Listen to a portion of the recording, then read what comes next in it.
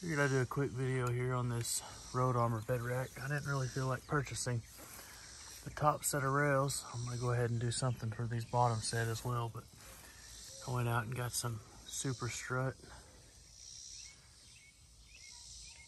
and some 3 8 channel nuts, some 3 8 bolts. Just came in behind here, little 90 degree angle. Set there and bolted those into the channel and then one onto the bed. I'm still gotta cut these brackets off. I gotta pull it back off and cut those brackets off unless I can figure out another use for those. But it seems to be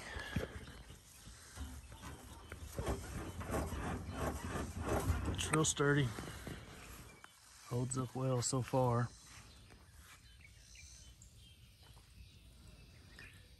And it was about $30 for both sides as opposed to 200